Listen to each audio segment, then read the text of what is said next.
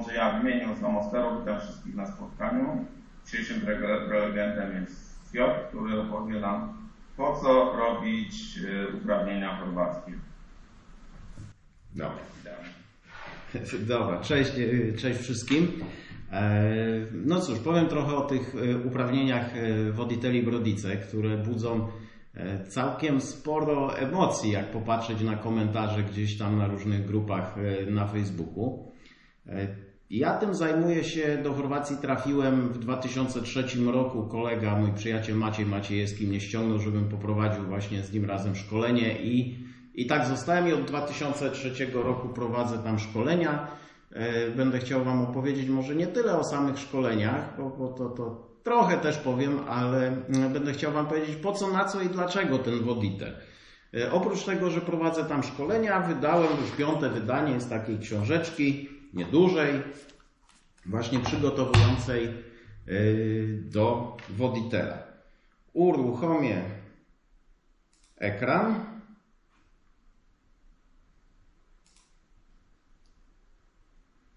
Jest. Widać ładnie? Tak, widać, widać, widać. Dobrze. Zatem po co, na co i do czego ten Voditelli e, Brodice. To, to jest nazwa chorwackich uprawnień, e, które można tam zdobyć. E, jest to jedna z dróg po prostu do, do rozpoczęcia samodzielnej przygody, znaczy przygody z samodzielnym prowadzeniem jachtów. Oj, musimy. O, kto bierze udział w takich szkoleniach e, Woditeli Brodice? Na przestrzeni, no w przyszłym roku będzie 20 lat. E, to słuchajcie, no głównie osoby, które przyjeżdżają e, przynajmniej do mnie czy, czy do, do kolegów z konkurencji na tego typu szkolenia, są to osoby, które po prostu chcą się nauczyć prowadzić samodzielnie łódkę i, i zostać tymi kapitanami czy tam skiperami. Dla kogo są przeznaczone takie szkolenia? Ja zawsze mówię, że szkolenia tego typu są przeznaczone dla kogoś, kto już coś tam liznął żeglarstwa. Często są to osoby pływające na e, śródlądziu, mające duże doświadczenie z mniejszych żaglówek e, śródlądowych. Chcą sobie, że tak powiem, posmakować przygody z prowadzeniem łódek morskich. No i moi drodzy, ten woditel to jest, można powiedzieć, taki, jak obserwuję, element przejściowy. Jest to jeden z kroków, żeby właśnie w miarę szybko zdobyć uprawnienia do prowadzenia, do prowadzenia jachtów. Dlaczego o tym sobie powiem? Będę chciał powiedzieć. Spotkałem się z takimi opiniami, że woditel to jest, czytałem takie komentarze, że jest to oszukiwanie systemu jakiegoś. No, trudno nazwać to oszukiwaniem systemu, jak ludzie przyjeżdżają się E, nauczyć zdobyć wiedzę i, i po prostu potem samodzielnie pływać, czy e, na jednym, na jednym z podcastów e, prowadzący powiedział, że to nie jest kapitan, czy tam to nie jest skipper, to, to nie wiem, kto to według niego jest, bo woditel uprawnia i to, to całkiem, całkiem sporo. Mm, daje całkiem spore uprawnienia. No tutaj zrobiłem mały fotomontaż, bo swój gdzieś patent zapodziałem z 2003 roku. Ja go zrobiłem e, dla siebie zupełnie sportowo, bo mnie był do niczego zupełnie niepotrzebny. Ja go zrobiłem właśnie już będąc kapitanem, a żeby zobaczyć po prostu jak ten egzamin wygląda i przekonać się na własnej skórze. E, na odwrocie widzicie tutaj są całkiem spore te uprawnienia, bo posiadacz tego dokumentu, mówimy o kategorii B, jakie są jeszcze inne kategorie, to sobie powiemy, ale wśród żeglarzy najbardziej popularna jest kategoria B, e, bo raz, że łatwo ją zdobyć, a dwa, z drugiej strony daje spore uprawnienia. Mamy tutaj i łódki pasażerskie, i, i, i towarowe. Od razu musimy sobie powiedzieć, że w prawie chorwackim łódka to jest e, do 15 metrów, jacht już jest powyżej 15 metrów. I mamy tutaj jachty do prowadzenia i tak dalej, czyli dostajemy całkiem spore uprawnienia. No właśnie, bo Chorwacja jest takim dziwnym krajem, yy, że tam praktycznie na wszystko, co ma żagle i silnik, potrzeba mieć uprawnienia. Yy, w Polsce, jak, jak wiemy, do, do, do 7,5 metra żaglówki długości nie potrzeba mieć uprawnień, do, do 10 kW mocy yy, silnika też nie potrzeba, a w Chorwacji na wszystko potrzebne są uprawnienia i mm, no to tam reguluje ich taki prawilnik o Brodicama i Jachtama. Yy, strasznie ciężko się czyta swoją drogą chorwackie przepisy, nie jest, nie jest to łatwe. Ja z polskimi mam problem czytanie, a co dopiero po chorwacku. I tam są popisane wszystkie uprawnienia na łodzie i jachty i również e, minimalna mm, liczba załogi, bo to też nie jest tak, że woditel e, tam było, że pozwala nam prowadzić łódki pasażerskie 3 mile morskie od brzegu. Tak, pozwala, tylko musimy jeszcze na pokładzie mieć woditela kategorii A. Tylko pasażerskie może woditel prowadzić jedną milę morską od brzegu samodzielnie, ale o tym może za chwilkę. Jak będziecie mieć jakieś pytania, to ja mam taką propozycję, żeby sobie zanotować i na koniec sobie porozmawiamy. Ja przedstawię temat, a po prostu pytania będą na sam koniec. No i ile tych woditeli różnych, najróżniejszych mamy e, w Chorwacji? Mamy woditela kategorii A, B oraz C i zapowiedników e, jachtów kategorii A i B. Y, Woditel kategorii A to tam za wiele nie może, to można powiedzieć, że to jest dużo, dużo jeszcze mniej niż nasz sternik motorowodny w Polsce, jakby to porównać. Natomiast ten Woditeli Brodice kategoria B, no to już troszeczkę, troszeczkę nam pozwala, bo praktycznie wszystkie jachty czarterowe, czyli to, co nas najbardziej interesuje, y, mamy w zasięgu ręki. Y, kategoria C jest to wyższa kategoria, natomiast tutaj już obowiązkowe jest szkolenie. Na kategorię B szkolenie nie jest obowiązkowe. Y, no i nie ma specjalnie dużych wymagań, bo wystarczy ukończony 16 rok życia i zaliczenie y, niezbyt trudnego egzaminu. O egzaminach też powiem. Czy da się go nie zdać? Da się. Znam takich, co nie zdawali. Na, na kategorię C już potrzeba troszeczkę E, więcej było 18 rok życia, dobry stan zdrowia, e, obowiązkowe szkolenie i jest to certyfikat odnawiany. Co 5 lat trzeba się wykazać dobrym stanem zdrowia. Natomiast te zapowiedniki, no to już trzeba mieć e, doświadczenie przed egzaminem i też są odnawiane i trzeba się wykazać nie tylko dobrym stanem zdrowia, ale też i praktyką. E, co ciekawego, Chorwaci podzielili, e, podzielili jakby morze na takie e, akweny żeglugowe i one są dosyć istotne z punktu widzenia właśnie ich uprawnień. Pierwsze obejmuje, można powiedzieć, cały świat, dwójka, obe, dwójka obejmuje żeglugę międzynarodową 20 mil morskich od brzegu i na jedynkę i dwójkę woditel nie uprawnia do tego, żeby być kapitanem. Uprawnia dopiero od trójki. Tak? Czyli trójka mamy wszystkie jachty i, i, i, i łodzie przyjemnościowe, można tak powiedzieć. A tam jakby ktoś bardzo chciał, nie wiem, w Chorwacji pracować, że tak powiem, na woditelu i wozić e, ludzi z kotwicowiska do knajpeczki, no to już musi się wczytać e, w te obszary 3A, 3B i 3C. Ale tu, żeby nie przedłużać, bo to można sobie wyczytać. No tak, a czy Chorwaci akceptują polskie uprawnienia? Oczywiście, że akceptują. E, wydali taką tabelkę do rozporządzenia, w której wyraźnie podali, e, jakie uprawnienia na jakich zasadach e, akceptują. I żeglarz, i sternik, żeglarz jachtowy, sternik motorowodny, no to mamy łodzie do celów prywatnych, czyli do 15 metrów, łodzie czarterowe, ale tylko do jednej mili morskiej od brzegu Oczywiście, jeżeli rad, y, y, łódź jest wyposażona w radio, no musi być świadectwo radiooperatora. Sternik jachtowy, starszy sternik motorowodny. Ja się nie pomyliłem tutaj. E, tabelka była wydana przez Chorwatów jeszcze jak takie patenty, że tak powiem, były. No i ktoś, kto nie wymienił sobie sternika jachtowego czy starszego sternika motorowodnego i dalej się tym patentem legitymuje, no to jest y, właśnie w, tym, w tej chorwackiej tabelce, w tym mm, załączniku do rozporządzenia informacja. Y, tutaj już mamy, można powiedzieć, że sternik jachtowy i starszy sternik motorowodny jest bardzo porównywalny do Woditela, bo nas interesują głównie te łodzie czarterowe i jachty, czyli tak jak Woditel ma łodzie i jachty do 30 GT. Ta jednostka GT Gross Tonnage to jest taka dziwna jednostka, ja sobie tu zrobiłem ściągę, bo to ciężko zapamiętać, to nie jest, to nie ma nic wspólnego z masą jachtu, tylko z jego objętością. I 1 GT to jest 100 stóp sześciennych. To tak stopa sześcienna, znaczy 100 stóp sześciennych to tak w zaokrągleniu można przyjąć 2,8 metra sześciennego, czyli tak objętościowo tak duże jednostki sternik może prowadzić. Jachtowy sternik morski, motorowodny sternik morski, Yy, oczywiście łodzie i jachty, ale zwróćcie uwagę, że jachty aż do 500 GT, czyli całkiem, całkiem spore. Natomiast no, motorowodny jest traktowany przez Chorwatów gorzej, nie wiedzieć dlaczego, e, tylko do 100.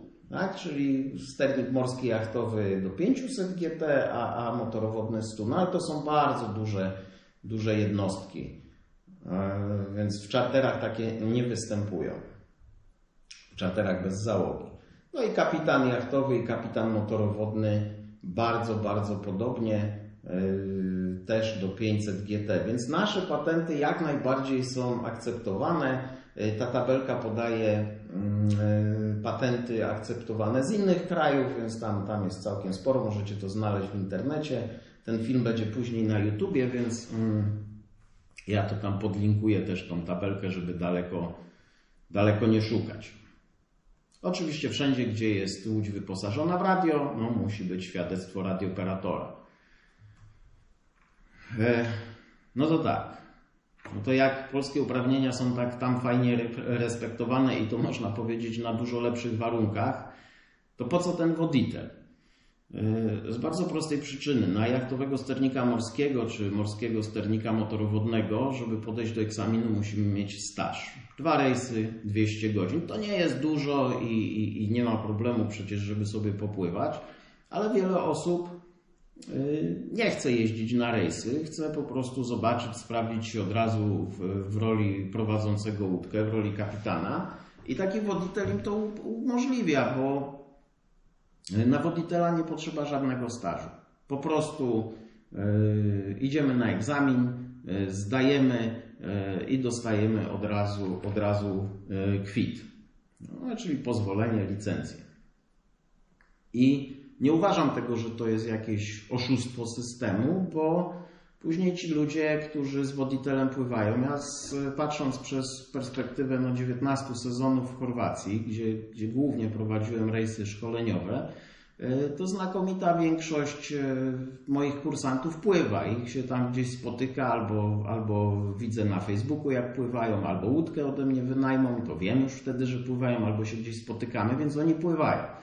Prędzej czy później taka osoba, która zda woditela, w znakomitej większości, jak wypływa sobie staż, to i tak trafi na tego jachtowego sternika morskiego, więc ten woditel to w większości przypadków jest jako taki przejściowy. No w polskim systemie jakby no brakuje tego, tego przejściowego. Można powiedzieć, że żeglarz jest takim, przecież żeglarz też uprawnia do pływania po morzu, ale tylko w porze dziennej, więc to tak może być troszeczkę, jak dla mnie troszeczkę mało. 12 metrów jachty spoko, ale na żeglarza, ale żeby mógł tylko w dzień pływać, to troszeczkę mało. Tak, nie potrzebujemy stażu morskiego i to jest główny powód e, popularności tego certyfikatu. No i teraz tak, będąc takim woditelem, bądź woditelicą, jak to Chorwaci odmieniają, e, jesteśmy kapitanami, oczywiście w granicach swoich uprawnień i zdobywamy sobie staż e, morski. Tutaj od razu polecam wszystkim, żeby wypisywali sobie, jak są kapitanami karty rejsów dla siebie. Oczywiście z pieczątką e, w kapitanach, e, gdzieś tam w firmie czarterowej, polski system uwielbia pieczątki, e, jak również mamy prawo poświadczać staż swojej załodze, czyli wystawiać opinie z rejsów. Ja tutaj zamieściłem link do swojego kanału na YouTubie, tam kiedyś zrobiłem taki film właśnie jak wypisywać opinie i karty i kto to może, kto to może robić. Więc no to jest, jak dla mnie, to jest normalny kapitan na jachcie. Oczywiście w granicach swoich uprawnień. I teraz jak wygląda ten egzamin? Bo one budzą e, najwięcej sensacji, że to w Chorwacji to jest tak łatwo zdać. E, wszyscy zdają. Nie, nie wszyscy zdają. W karierze mojej firmy zdarzyły się dwie osoby, które nie zaliczyły tego egzaminu. Jednej nie miałem przyjemności poznać, bo mnie nie było w Chorwacji, uczył ją mój kolega. Z tego co opowiadał, to osoba ta od początku podeszła do tematu, że nie, bo ona czytała w internecie, że wszyscy zdają, to się uczyć nie będzie. No i niestety, niestety wynik egzaminu nie był pozytywny. Drugi przypadek to był y, gościa ode mnie z załogi. E, też za bardzo się nie przyłożył do teorii i w ogóle po prostu nie usiadł do teorii, sobie fajnie tam manewrował jachtem, ale stwierdził, że to był jego pierwszy, y, że tak powiem, pierwszy tydzień w życiu na jachcie, że on sobie podejdzie, jak zda, to zda, a jak nie zda, to sobie przyjedzie jeszcze raz. No i nie zdał. No, niestety musiałem się trochę za niego wstydzić w kapitanacie, bo nie potrafił odpowiedzieć na żadne pytanie. Nie zdał tego egzaminu. Y, no tam rozmowa z egzaminatorem, jak poprosił właśnie tego kandydata, żeby zawołał tego, kto go uczył, no wstydziłem się, nie? Bo to, to no co miałem powiedzieć? No nie nauczył się. Więc troszeczkę tam mi egzaminator nawkładał, że, że jak ja uczę, jak ja mogłem do tego dopuścić. No ale człowiek dorosły zapłacił za egzamin, więc, mm, więc sobie podszedł, tak, jego sprawa. Z tą praktyką, bo faktycznie 19 lat, e, jak e, przygotowuję do tych egzaminów, nie słyszałem nigdy E, żeby Chorwaci zrobili egzamin praktyczny, natomiast w tym ich rozporządzeniu jest informacja, że taki egzamin może się odbyć. E, po prostu on nie musi się odbyć, no a jak to południowcy, jak coś może, a nie musi, no to, że tak powiem, im się pewnie najzwyczajniej w świecie nie chce tych egzaminów praktycznych z jakichś powodów przeprowadzać ich nie przeprowadzają. Natomiast z drugiej strony, no to też bym jakoś nie demonizował, że ci ludzie, skoro nie zdają praktyki, to tam od razu się zabiją i, i w ogóle będzie Armagedon. No, jest w Chorwacji jak jest, bo dużo osób pływa. E, I tutaj, tutaj muszę się odwołać. Tutaj mistrzem od sprawdzania statystyk jest obecny na spotkaniu Jacek Szczepaniak z Bryga. E, I pozwoliłem sobie z jego strony mm, ściągnąć statystyki za 2019 rok e, z Chorwacji.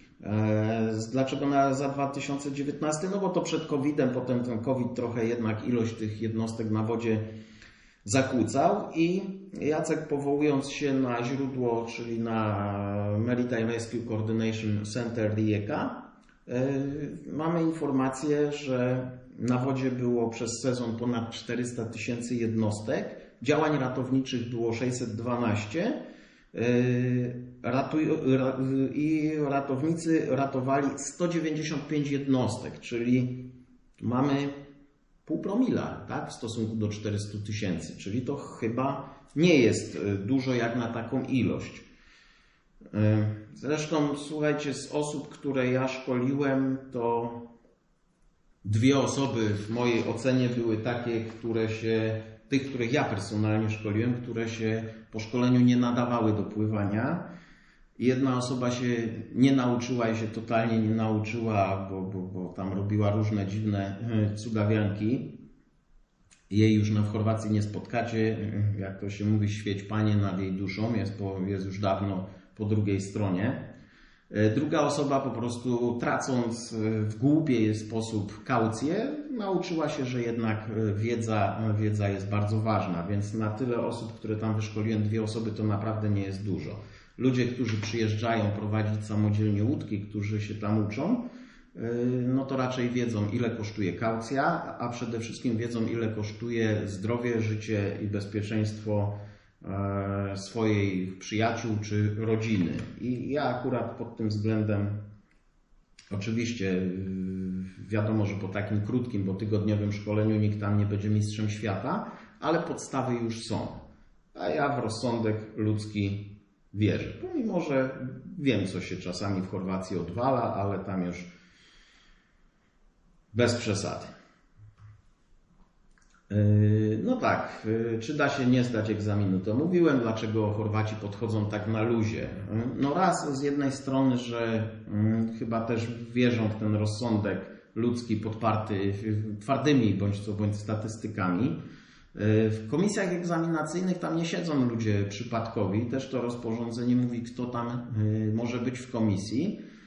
I żeby być w komisji egzaminacyjnej, no to trzeba być właśnie albo oficerem marynarki handlowej, albo mieć staż pracy w kapitanacie bodajże minimum 3 lata, ale żeby być przewodniczącym, to tym oficerem marynarki handlowej E, trzeba być, więc tam nie siedzą goście, którzy nie mają bladego pojęcia o pływaniu i, i, i tak zwani, nazwijmy to działacze, tylko goście, którzy wiedzą na czym polega praca i, i pływanie, pływanie po morzu. Poza tym no to jest jednak kraj wyspiarski i tam łódki to są po prostu chyba naturalne jak dla nas rowery. Dla, myślę, że na wyspach to wielu nie ma auta, a łódkę ma. Więc po prostu no, no jest jak jest, tak? Czy, czy, czy coś by to zmieniło, jak będzie trudniej? Nie wiem. Jest jak jest. Nie uważam, żeby było jakoś bardzo, bardzo źle. Dramaty się nie dzieją.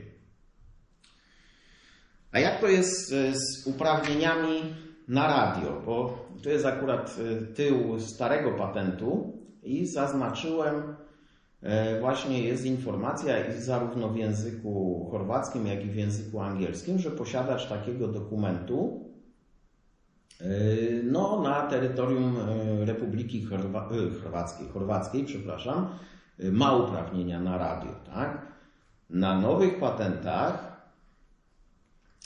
to jest z tego roku, takiej informacji, takiej informacji nie ma. Natomiast pozwoliłem sobie E, zadać pytanie e, w kapitanacie. E, no i tutaj mam odpowiedź oryginalną. Zadałem pytanie właśnie o to, że na starych uprawnieniach było napisane, na nowych nie ma, a w rozporządzeniu jest napisane, że osoba, że jeżeli znajduje się na łodzi czy na jachcie znajduje się radio, no to osoba musi mieć uprawnienia na to radio. I ogólnie rzecz mówiąc, dostałem informację z kapitanatu, że e, nie ma takiego napisu na nowych e, patentach, a nie ma takiej potrzeby, bo w programie e, egzaminu jest część o systemach łączności i że jeżeli jest to integralna część egzaminu, jeżeli ktoś to zda, no to znaczy, że umie obsługiwać radio, a jeżeli by nie umiał, nie znał się, no to by tego nie zdał. Taka jest, taka jest oficjalne stanowisko kapitanatu, dlatego osoby, które posiadają woditela nie muszą do pływania tam w Chorwacji robić e, osobnych uprawnień radiowych, natomiast warto to prędzej czy później zrobić, bo to się przyda. Z tego co obserwuję, to jednak znakomita większość e, moich kursantów to traktuje woditela jako taki element przejściowy przed tam sternikiem morskim i później kapitanem. No właśnie, i teraz Dwa słowa dosłownie o e, szkoleniu. E, w Chorwacji, w Chorwacji jest bardzo dużo firm, które wykorzystują to, że egzamin jest e, teoretyczny. I takie szkolenia w chorwackich firmach, przygotowanie teoretyczne trwa 5 do 8 godzin.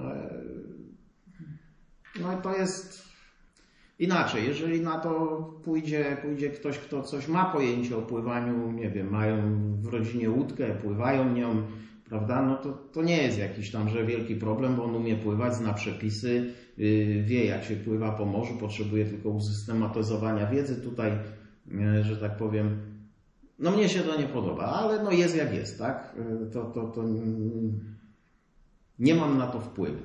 Natomiast, y, więc w takim y, przypadku tak chyba lepiej byłoby taniej kupić książkę albo e-learning, albo jedno i drugie. No dobra, takie mała wstawka, ale już uciekam od tych wstrętnych reklam. Natomiast tak jak obserwuję y, szkolenia polskie, polskich firm, kolegów z konkurencji, E, kręcimy się, spotykamy Czechów, Węgrów, Austriaków. W tych krajach też bardzo popularne są te e, certyfikaty. No to takie szkolenie trwa tydzień czasu. I jest to manewrówka. Jest to prowadzenie nawigacji w praktyce, bo się spotykamy w różnych portach, więc muszą z tego portu do portu przepłynąć, nie teleportują się. E, fajnie, bo to można łączyć teorię z praktyką, więc te szkolenia naprawdę nie ma się co przyczepić. Jak na tydzień czasu, to z tego co obserwuję, to są bardzo fajne, intensywne i aż miło popatrzeć, że, że, że instruktorzy się w ten sposób przy, przykładają. No my żeśmy w Morce uruchomili jakiś czas temu e-learning, to chodziło nam tylko po to, żeby e, część teorii można było sobie poczytać wcześniej, mm, pooglądać jakieś filmy, coś, coś podziałać. Chodziło mi o to, że jak mam tylko tydzień czasu, a jacht jest zapłacony i może zdradzę niektórym tajemnicę, to nie ja płacę za jacht, to kursanci płacą za jacht E, no to szkoda, żeby on stał przy Kei i żebyśmy robili jakąś teorię. No ale to jest, e, że tak powiem, tam dodatkowy wymysł, ale tam wiele firm, firm z e-learningów korzysta. Żeśmy to jakiś czas temu wprowadzili i się sprawdza. E, Powoditelu myślę, że teraz to jest czas, żeby właśnie zadawać mi pytania, bo, bo ja powiedziałem, jak ja to widzę, dlaczego ja to robię, a myślę, że tutaj część będzie Was y, mocno interesowało. Ja y, wyłączę udostępnianie ekranu, żeby mnie było widać i i, i, I jak to zrobimy, Michał? Czy ty będziesz czytał pytania z czatu, czy jak to się tu odbywa? Czy, czy po prostu mogą y, nasi goście, widzowie zadawać pytania? Specjalnie za dużo tych pytań na czasie nie widzę, więc myślę, że, że jest nas tym, że spokojnie możemy, możemy, możemy te pytania zadawać e, głosowo, więc jeśli ktoś ma ochotę, to proszę się odmutować i, i bezpośrednio to pytania adresować do Piotra. Jeśli ktoś się wstydzi albo nie może, to napisać na czacie, ja je przeczytam, ale, ale głos oddaję Wam. Ja jestem do dyspozycji, mnie się nigdzie nie śpieszy, z przyjemnością odpowiem na, e, na, na, na mam nadzieję, wszystkie pytania. To na każdym spotkaniu jest tak, że ktoś musi zacząć, tak? To ja zadam pytanie, Piotr, jakbyś mógł powiedzieć, jak taki egzamin wygląda, bo tutaj właśnie mówię, że można zdać, nie można, były przypadki niezdane, natomiast jaki to jest poziom trudności, jakiego typu pytania to są, Czyli generalnie, no jak, to, jak to wygląda w praktyce? E, dobra, bardzo dobre pytanie i wiedziałem, że właśnie pytaniami to mnie naprowadzicie, o czym mam mówić. E, najpierw od strony formalnej. E, załącznik bodajże siódmy do tego ich rozporządzenia pokazuje, jest program, jaki zawiera egzamin. I tu jest bardzo dużo tego, ale faktycznie egzamin zaczyna się od tego, że wchodzicie, wchodzicie do, do sali, gdzie siadacie naprzeciwko gościa. Jak jest w mundurze, to robi to wrażenie, bo, bo ja nie znam ich stopni, ale przeważnie mają dużo na pagonach, dużo tutaj baretek, więc to robi wrażenie. E, I macie przed sobą mapę, zaczyna Was pytać z mapy, ze skrótów, e, trzeba zaznaczyć pozycję, trzeba e, wykreślić jakiś kurs, zmierzyć odległość. Potem bierze jakieś dwa przedmioty, są to modele jachtów, tak, i kładzie i każe, mówi, to jest żaglowy, to jest motorowy i tam pyta o prawo drogi. Na pewno padają, padają pytania, to jest ich konik światła statków. E, zupełnie przypadkowo im dałem do kapitanatu karteczki, które kiedyś żeśmy wydrukowali, te fiszki tak, tak zwane i oni sobie z tych e, fiszek e, egzaminują, pokazują po prostu jakieś światełka i trzeba tam odgadnąć.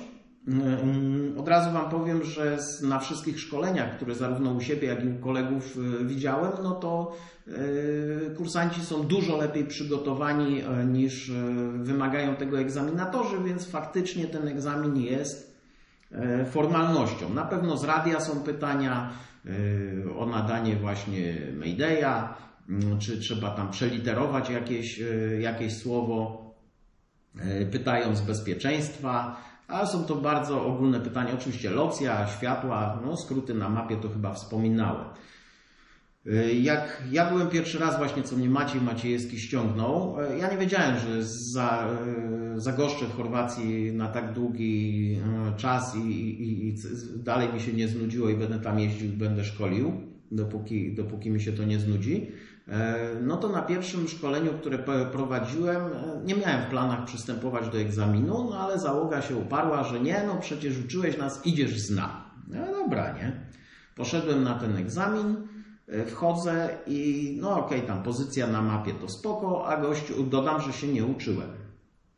E, więc rzeczy pod tytułem chorwackie skróty na mapach były mi bardzo obce. No i zaczęło się tam po nawigacji, prawie drogi, pytanie o skróty. A ja oczywiście z wrodzonym sobie brakiem taktu i dyplomacji powiedziałem gościowi, że ja nie pływam na chorwackich mapach, ja pływam na angielskich, ja się tego uczyć nie będę. O Jezu, jak się wściekł.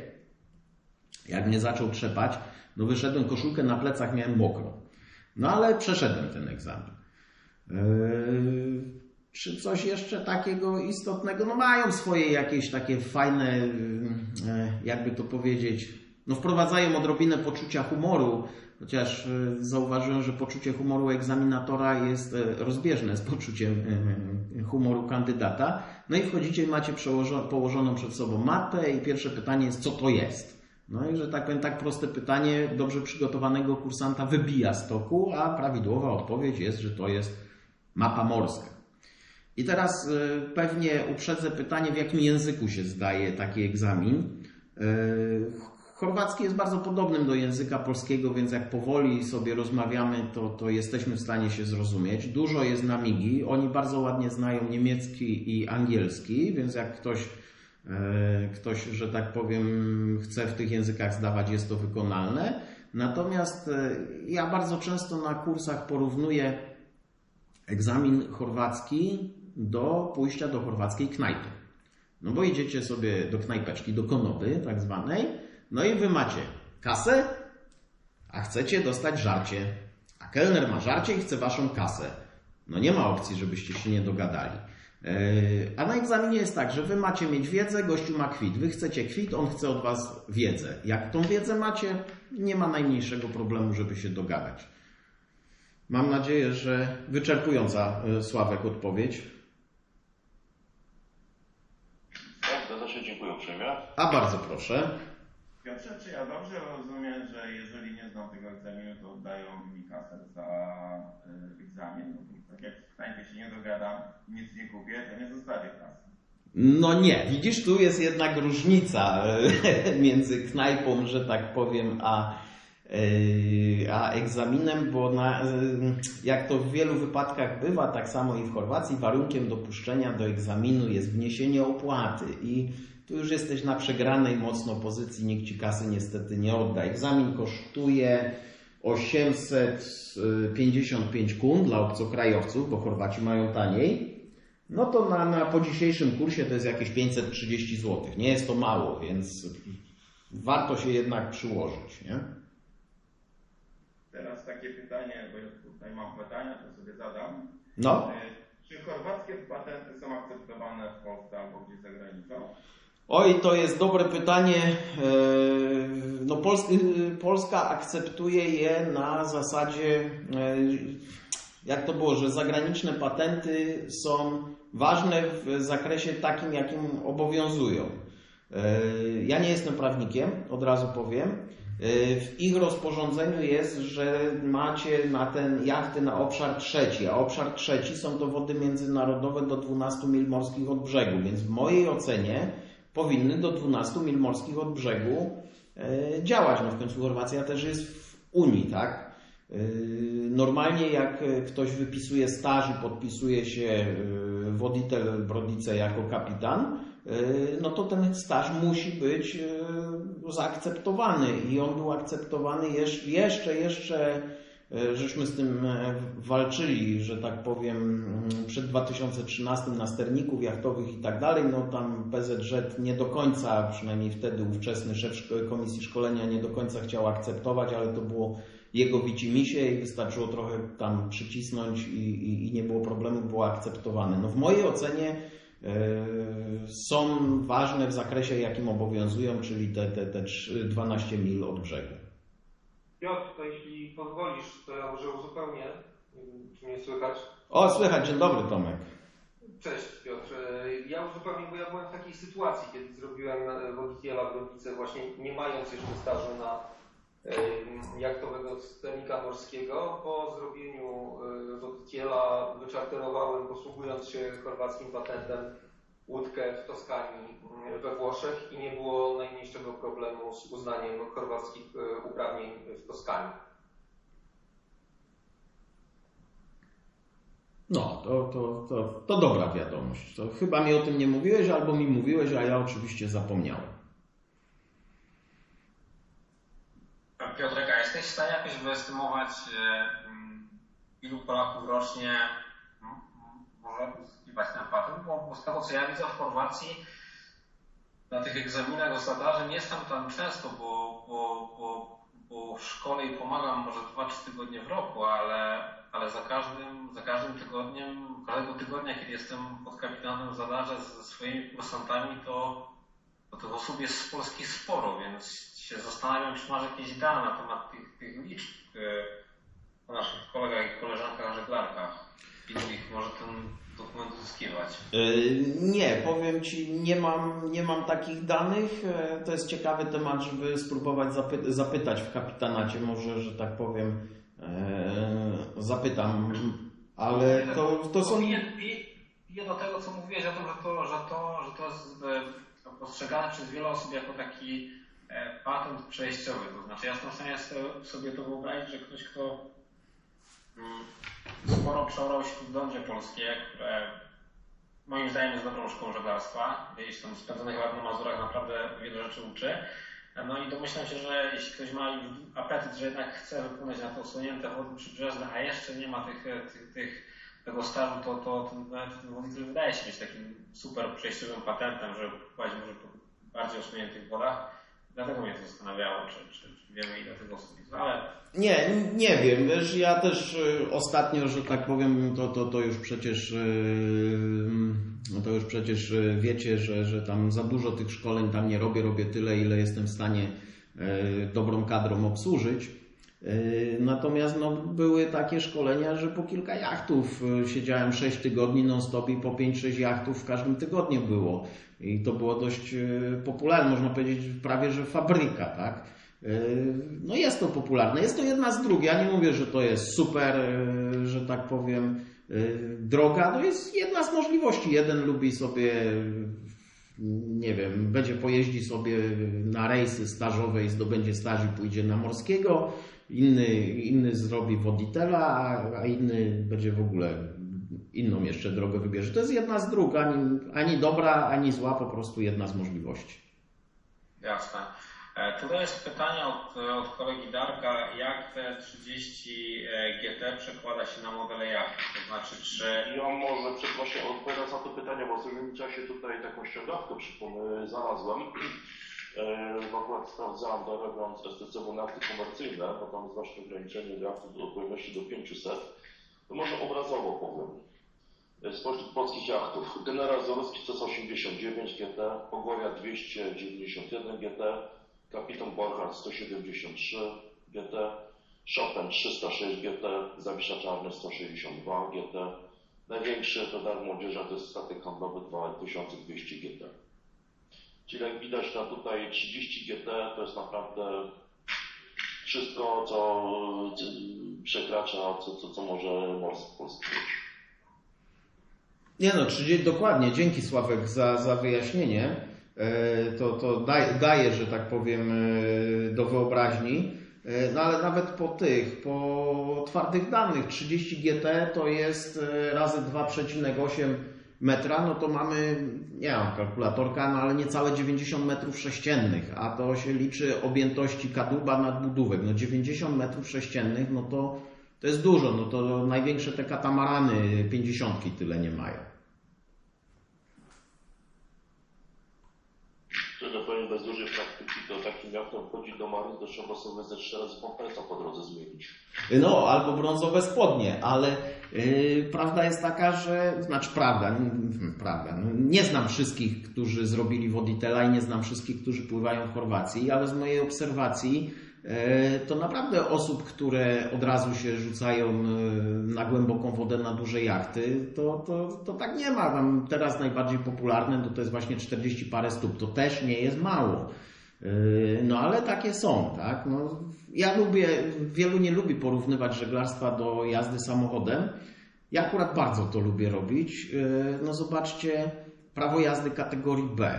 Yy, Uczymy się tam, teraz ludzie się uczą na jakichś tam małych glutach, osobóweczkach fajnych, takich miejskich, typowo do jeżdżenia po mieście, a dostając te kwity, no to można prowadzić busa do 3,5 tony z przyczepą 750 kg, tak? Jeżeli mnie, jeżeli mnie nie myli na P, czyli można zestaw 4,250 prowadzić. No i pytanie, czy ktoś się na to porwie od razu, czy jednak będzie trochę tego zdrowego rozsądku. Ja wiem, że na drodze sobie łatwiej jest zrobić krzywdę niż na wodzie, no ale lubię te porównania. E, Dziękuję za uwagę. To już część, e, która nie szła online. Troszeczkę część pytań pociąłem, bo tutaj były rozmowy, dużo znajomych e, było na spotkaniu, więc było dużo takich prywatnych rozmów, więc postarałem się to pociąć. E, Dziękuję za uwagę. E, Zapraszam na szkolenia i zapraszam do oglądania innych materiałów. Do zobaczenia na wodzie. Cześć.